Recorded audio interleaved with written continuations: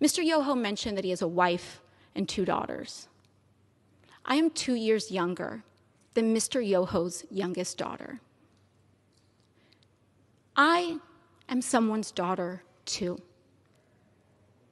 My father, thankfully, is not alive to see how Mr. Yoho treated his daughter. My mother got to see Mr. Yoho's disrespect on the floor of this house towards me on television. And I am here because I have to show my parents that I am their daughter and that they did not raise me to accept abuse from men. Now, what I am here to say is that this harm that Mr. Yoho levied, it tried to levy against me, was not just an incident directed at me. But when you do that to any woman, what Mr. Yoho did was give permission to other men to do that to his daughters.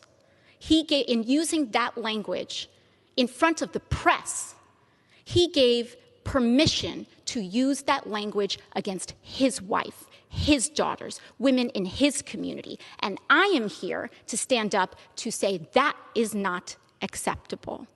I do not care what your views are.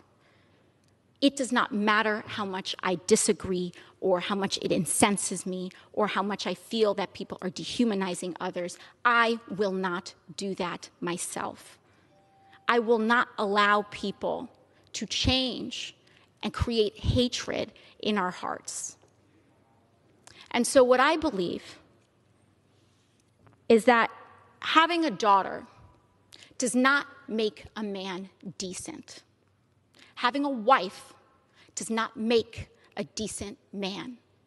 Treating people with dignity and respect makes a decent man.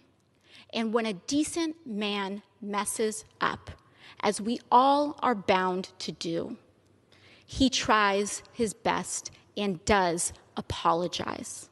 Not to save face, not to win a vote. He apologizes genuinely to repair and acknowledge the harm done so that we can all move on.